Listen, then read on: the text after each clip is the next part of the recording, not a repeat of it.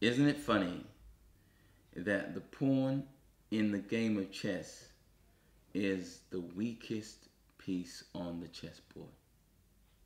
Yet, in just six moves, it transforms and becomes the strongest piece on the chessboard.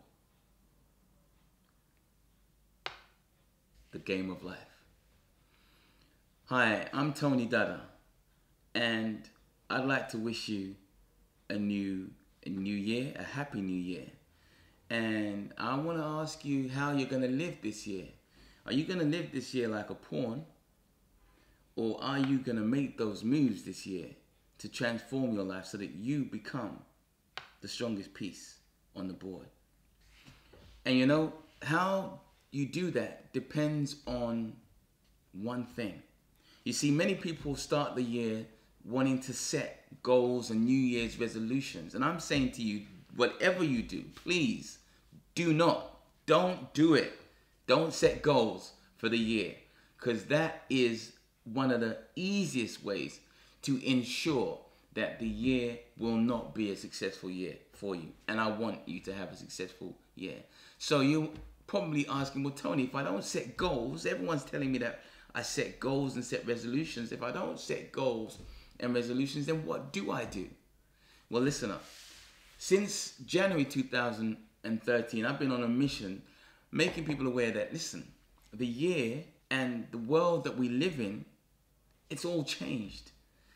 Things that you were told this was how things are supposed to be, they don't work anymore. Remember, a job for life. Who has that? The whole world has changed, and as a result of that, you need to change.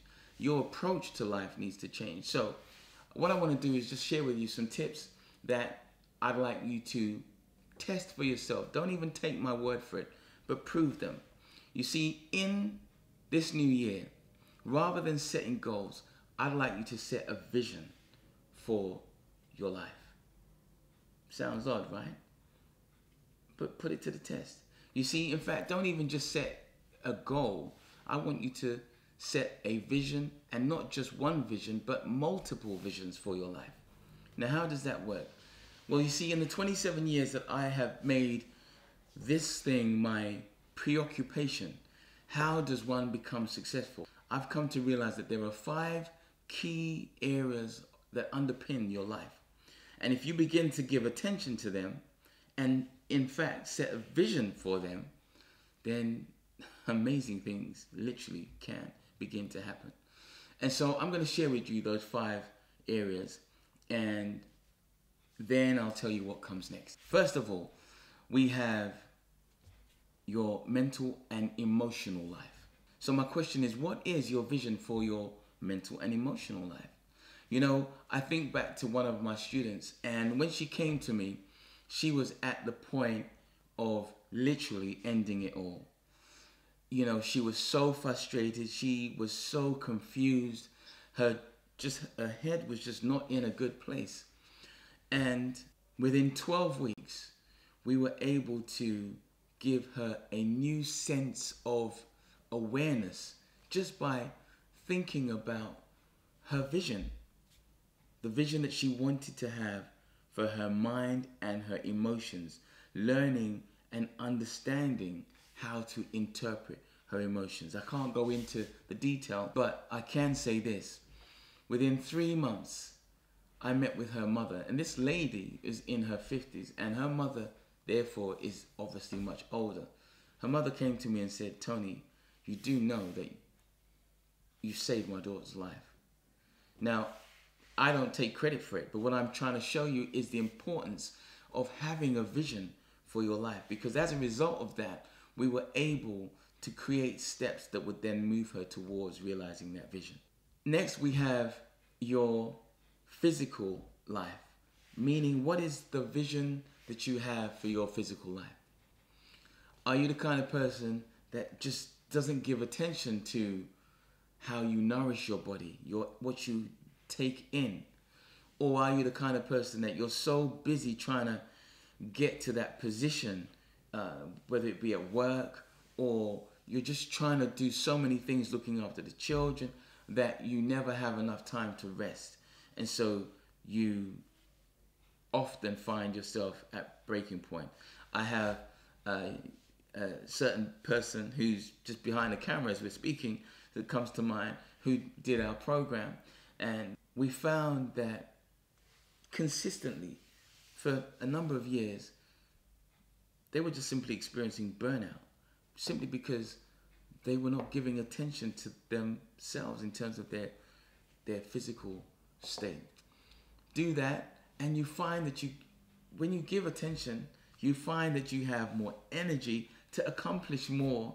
So it's a win-win.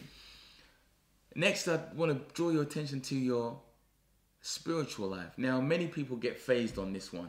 I'm not here preaching religion because it actually has nothing to do with vision. What it has to do is with your belief system. You see, the question is, what do you believe about you? And what do you believe in? Do you have a vision for your belief system? This needs to be challenged because when you do that, again, you may find that some of the things that you believe have been handed down to you or given to you, and they're not even your belief system. I have a case of someone who she came onto the program and she was a very, very astute religious Christian. And by the time we ended the program, she was like, Wow, you have taught me that I didn't even know what faith was based on my belief system because I was not really working my faith. And so it's really important to give attention to this area also. Next, we have your social life. And when I'm talking about your social life, I'm not talking about how many times you party on the weekend. No, even though, yeah, that's that's important, right? But no, I'm talking about your relationships. Your relationships with your caregivers, your spouse, your partner, your associates at work, your children if you're a parent. The question is, do you even have or entertain a vision for how you would like those relationships to be? Because if you don't, then they'll just occur haphazardly. Set a vision for how you would like them to be, each of them. Give them attention, and then we can begin to work that vision. And then, lastly, but by no means the least, is your financial life. What is your financial life? Are you the kind of what is your financial life? Are you the kind of person that simply wants to go out and get that money? Like I said, ladies and gentlemen, the world has changed. If you're that kind of person who is just trying to get that money at and by any means necessary, I've got news for you. The world don't work like that anymore. What we are now is living in a time where it's based upon the value that you bring to life. What is your contribution? Yes, it's good to have money in the bank, but actually, money itself needs to have a vision. What is the vision for your money? Is it just to buy toys in the form of houses and cars? You know, my mentor, who happens to be a billionaire, he says, Tony, after a while, you're done buying all the toys. Then what? There has to be a purpose, a vision for your money. Now, when you set that vision, again, you can work that and bring them all together. When you bring them all together, now you have what I call your life vision. In fact, what you have is your tailor made life vision. And that's what the Grow Personal Success or the GPS system is enabling you to do. It enables you to create and then begin to actualize your own unique, tailor made vision of success and then begin to grow it.